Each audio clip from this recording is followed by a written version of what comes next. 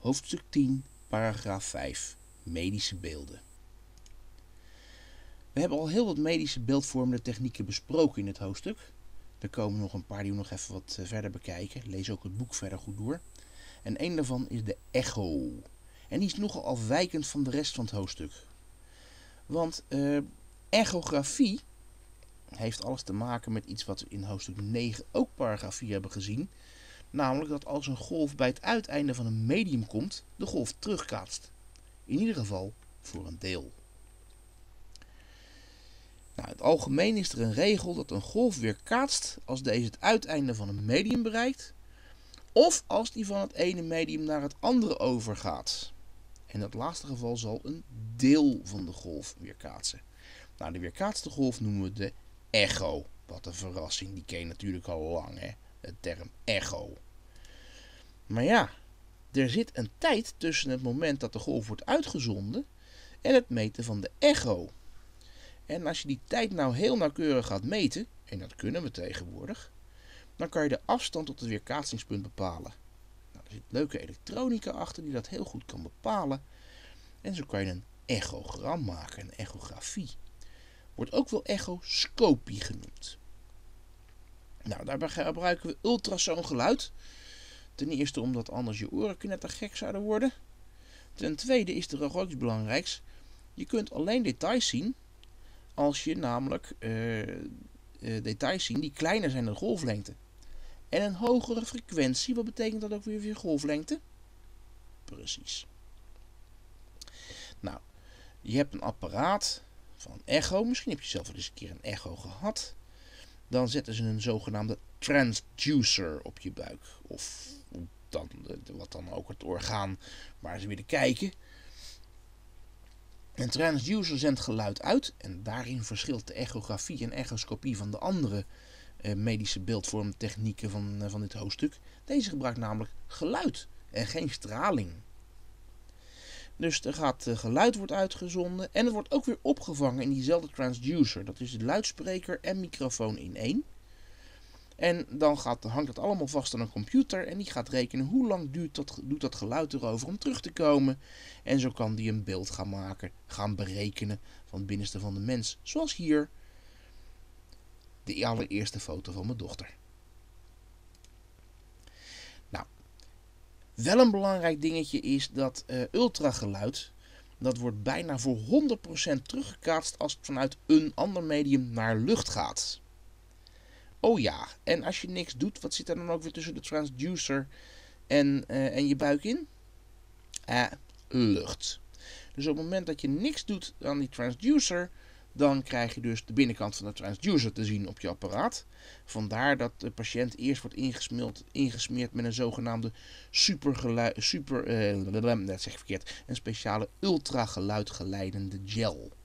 Lekker woord om uit te spreken, ultrageluidgeleidende gel.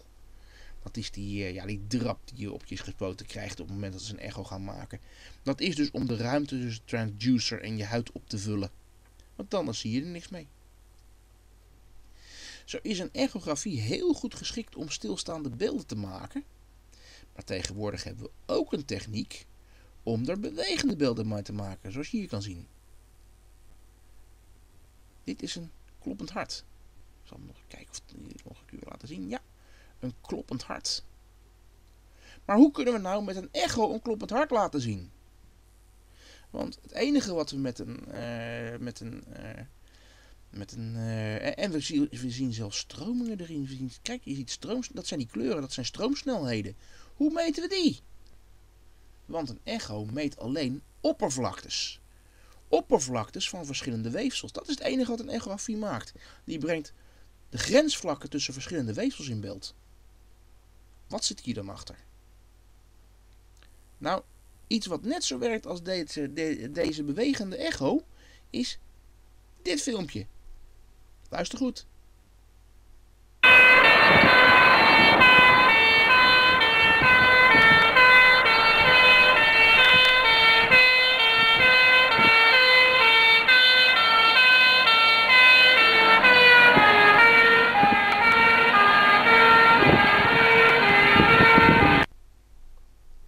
hoor je de sirene van de brandweerauto ineens veel lager worden als die voorbij gereden is. Dat is het zogenaamde Doppler-effect. Je hoort de toon van de uh, sirene anders als die auto rijdt, of naar je toe rijdt of van je afrijdt, als dat die wordt uitgezonden door de horen. Je hoort dus echt gewoon letterlijk een andere toon dan de, uh, dan de horen uitzendt. Nou, en de verandering, hoe sterk die toon veranderd is, daarmee kan je de snelheid terugrekenen. En is die toon hoger, dan uh, is die, komt hij naar je toe. En als die toon lager is, dan beweegt hij van je af. Als een, dat is nog maar een keer beschreven. Als een waarnemer en trillingsbron ten opzichte van elkaar bewegen, dan zal de waarnemer het geluid met de golf, het gaat voor alle golven, hè, niet alleen uh, geluid, maar ook met licht, uh, met een andere frequentie waarnemen dan die wordt uitgezonden. Nou, dat hele verhaal is het Doppler-effect. Oh ja, en er is er ook nog één ding. Uh, bij de echografie werkt de rand van een medium als, als trainingsbron voor de watergraadste golf. Dus als die rand nou beweegt, dan kun je ook het Doppler-effect gebruiken bij een echografie. Nou, bloedvatwanden zijn bijvoorbeeld een, uh, zo'n bewegende wand. En zo kan je dus met een echografie bewegingen in het menselijk lichaam zichtbaar maken, omdat dus ook wanden bewegen. Nou, een overzichtje van wat we allemaal in dit hoofdstuk gehad hebben. Een hele rij, eh, zowel in het boek als in de aantekeningen. We hebben natuurlijk de echografie net gezien. In paragraaf 3 de röntgenfoto en daaraan vastgekoppeld de röntgendoorlichting en de CT-scan. In paragraaf 4 de MRI-scan. Eh, we hebben de, met, met uh, denk ook, kijk nog een keer goed naar stralingsfysica. Dus de alfa, beta en gamma straling. Met de PET en de tracerdiagnose en de gamma camera. Wat wordt er van jou verwacht daarmee? Nou, jij moet kunnen weten uiteraard hoe die allemaal werken. Dus echografie, die bestudeert met geluidoppervlaktes. Röntgenfoto, die bestudeert uh, de verschillen in dichtheden met één enkele foto. Een röntgendoorlichting is als het ware een soort van röntgenfilmpje wat gemaakt wordt. Een CT-scan wordt een 3D-beeld met röntgenfoto's, worden meerdere foto's door de computer gecombineerd. Nou, de MRI hebben we het ook over gehad. Weet bij alle soorten van uh, deze uh, medische beeldvormtechnieken, want wat voor soort straling wordt er gebruikt? En waar kunnen ze voor worden toegepast? In welke situatie? Want dat is iets wat je gewoon echt in een toets kunt krijgen. Een omschrijving van wat er met een patiënt aan de hand is, of vermoedelijk aan de hand is. En leg uit welke van deze medische beeldvormende technieken dan moet ingezet worden om aan te tonen of dat wel of niet zo is.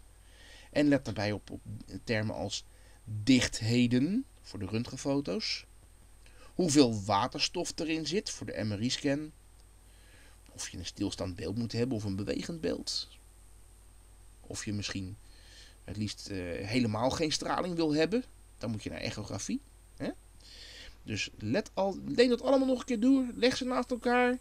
Leg ze op een rijtje. Ze staan ook in tabel 29 van Binas. Uh, maar let erop dat je die termen zachte en harde weefsels vermijdt in je antwoord. Hè? Of als je ze gebruikt, koppel ze ook aan hoge en lage dichtheid en veel en weinig waterstof. Want anders wordt je antwoord gegarandeerd fout gerekend. Uh, dus ja, let op verschil in dichtheid en verschil in vochtgehalte. En dat je die dus echt, echt die termen ook gebruikt in je antwoord als je er een toetsvraag over maakt. Ja, en dat is het einde van dit hoofdstuk. Ik wens je veel succes met het leren van alle medische beeldvormende technieken. En ik hoop dat de enige manier dat je ze nodig hebt op je vakgebied zal zijn. En laten we hopen, nooit als patiënt.